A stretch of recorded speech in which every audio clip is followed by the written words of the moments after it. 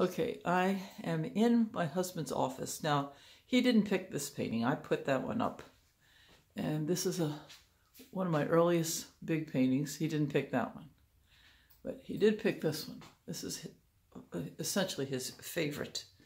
He draws energy from this, uh, encouragement. What else, Fred? Inspiration. Inspiration, right.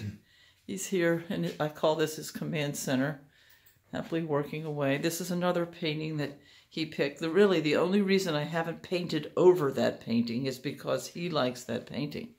Now, notice the blank space. Okay, now, my husband had artwork in his office back in our old house, but not this much.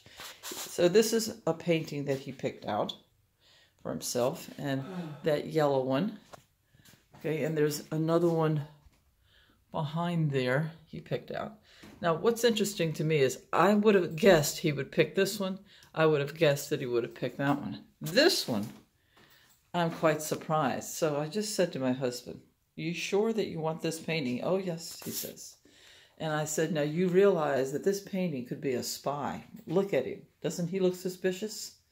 This painting is clearly going to break, you know, anyway, it's just ridiculousness. Okay, and then we come out into the hall for more artwork and we begin a new day with tons more to hang here at the new house with my heart just rejoicing. Okay, I have to end with a view of, let's see, the grand hall, my larger studio. Okay, I'm sorry about the running on about this, but joy, joy, joy. Oh.